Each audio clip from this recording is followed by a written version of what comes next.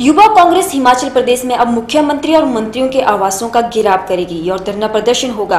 ये बात युवा कांग्रेस के हिमाचल प्रभारी जगदेव गागा ने नैना देवी मंदिर में दर्शन करने के उपरांत पत्रकारों से बातचीत करते हुए कही। उनके साथ इस मौके पर लोकसभा क्षेत्र हमीरपुर के कांग्रेस महासचिव हरीश गौतम भी मौजूद थे।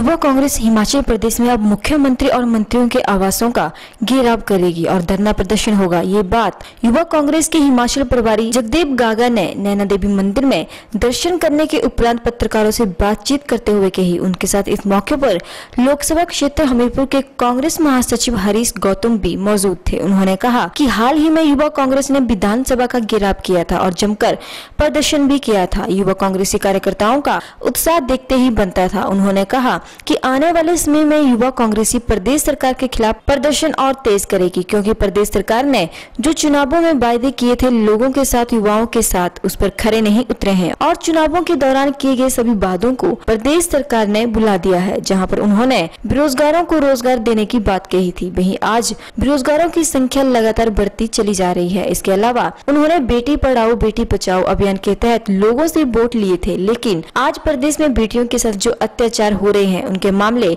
बढ़ते ही चले जा रहे हैं। इसके अलावा प्रदेश में सेब उत्पादन मुख्य व्यवसाय है। लोगों का और प्रदेश की सड़कें खस्ता हाल है, जिसके कारण लोगों को भारी परेशानियों का सामना करना पड़ता है। उन्होंने कहा कि प्रदेश सरकार हर मोर्चे पर विफल रही है। इस सरकार के समय में घोटाले ही घोटाले हो रहे हैं, जबकि विकास के कार्य ठप पड़ गए हैं। उन्होंने कहा कि युवा कांग्रेस चुप रहने वाली नहीं है और युवा अपनी लड़ाई, अपना अभियान जारी रखेगी। प्रदेश के मुख्यमंत्री को उन्होंने ज्ञापन सौंपा, उस पर अगर जल्द कार्यवाही नहीं हुई तो आने वाले समय में मंत्रियों के और मुख्यमंत्री के आवास का घेराव किया जाएगा, ताकि युवाओं को न्याय मिल सके और प्रदेश की जनता का विकास हो सके। को हमने शिमला विधानसभा का घेराव किया था, हिमाचल प्रदेश के कुछ मुद्दों को लेकर, जैसे कि धारा एक से छेड़छाड़ की जो उनकी मंशा है के बारे जो बाहर के प्रदेशों को ये ज़मीन हिमाचल प्रदेश की ज़मीन बेचना चाहते हैं, हिमाचल प्रदेश को बेचना चाहते हैं, उस मुद्दे को लेकर हमने विधानसभा का घेराव किया था, जो हिमाचल प्रदेश में बढ़ रही है बेरोजगारी बढ़ रही है। सरकार आने से पहले उन्होंने बोला था कि हम हर घर में, हर नौजवान को बेरोजगारों को युवा को नौकरी देंगे, रोज़गार देंगे।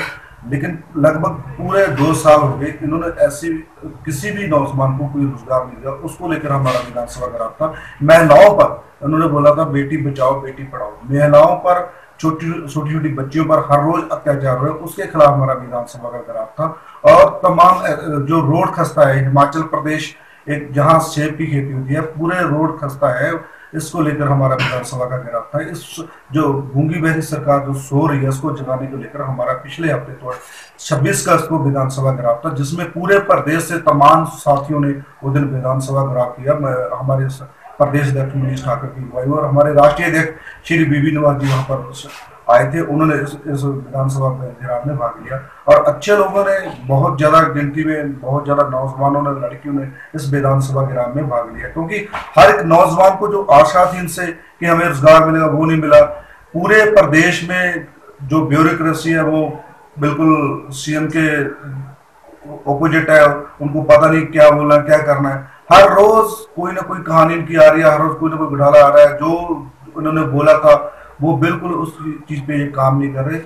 इन तमाम मुद्दों को लेकर कांग्रेस पार्टी, युवा कांग्रेस पार्टी ने विधानसभा घेराव किया था। और आगे भी कांग्रेस पार्टी ने हमेशा लोगों की लड़ाई लड़ी है। आगे भी कांग्रेस पार्टी, युवा कांग्रेस पार्टी लोगों की लड़ाई लड़ती रही हमेशा सड़कों पर लोगों के हकों के लिए लड़ती रही। ये ये विधानसभा घेराव में हमारे मोटिवेट थे हमारी ये मांग थी। उसमें हमने विधानसभा घेराव के बाद हमने सीएम साहब को एक मांग पत्र भी दिया। अगर उस पर कोई गौर नहीं था तो तब दोबारा कभी भी हम इनको अल्टीमेटम देके हम यूथ कांग्रेस का गिराव करेगी। एमएलए एमएलए मिनिस्टर मुख्यमंत्री के निवास स्थान पर हम गिराव करेंगे हमारे फ्यूचर आगे